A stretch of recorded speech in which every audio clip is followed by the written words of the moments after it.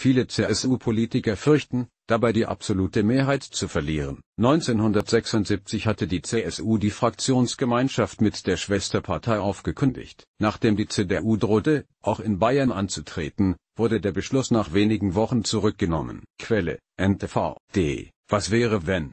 Nichts ist mehr undenkbar bei den Unionsparteien. Also bereitet sich der Arbeitnehmerflügel der CDU schon einmal vor auf den Fall der Fälle, die Aufkündigung der Fraktionsgemeinschaft. Der Arbeitnehmerflügel der CDU hat die Bundespartei aufgefordert, angesichts des Streits mit der Schwesterpartei CSU einen Antritt bei der Wahl in Bayern vorzubereiten. Für den Fall der Aufkündigung der Fraktionsgemeinschaft sollte die Bundesgeschäftsstelle Vorbereitungen für die Gründung eines CDU-Landesverbandes und die Beteiligung an der Wahl im Oktober treffen, sagte der stellvertretende Chef der christlich-demokratischen Arbeitnehmerschaft, Christian Bäumle, laut einem Handelsblattbericht. Dies könnte der CSU näher bringen, dass Wahlen auch in Bayern nicht am rechten Rand, sondern in der Mitte der Gesellschaft gewonnen werden. CDU und CSU sind wegen der Asylpolitik in die schwerste Auseinandersetzung seit Jahrzehnten geraten. CSU-Chef und Innenminister Horst Seehofer will in anderen EU-Ländern registrierte Migranten an der deutschen Grenze zurückweisen. Kanzlerin Angela Merkel lehnt dies ab. Sollte der Streit eskalieren,